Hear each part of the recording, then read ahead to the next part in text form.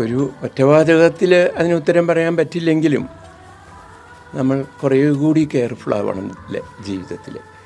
എപ്പോഴും അതെല്ലാം അങ്ങനെ മുറ പോലെ നടന്നോളും എന്ന് വിചാരിച്ച് കൂടാ. ഓരോ കാര്യങ്ങളും നമ്മൾ കണ്ണിൽ എണ്ണ ഒഴിച്ച് നോക്കണം ബിസിനസ് ആകുമ്പോഴും അതേപോലെ സഹജീവികളോടുള്ള സ്നേഹം ആദരവ് അതെന്നും നിലനിർത്തണം. ഇതാണ് എനിക്ക് എല്ലാ ലോകത്തിനോട് തന്നെ പറയാനുള്ളത്.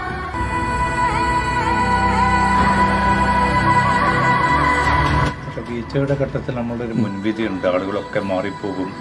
കരയുമ്പോൾ നമ്മൾ ഒറ്റക്കാവുന്നു. പക്ഷേ രാമേട്ടന്റെ കാര്യത്തിൽ അതല്ല സംഭവിച്ചത്.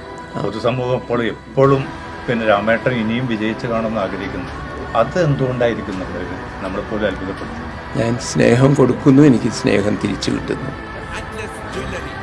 ജനകോടികളുടെ വിശ്വസ്ത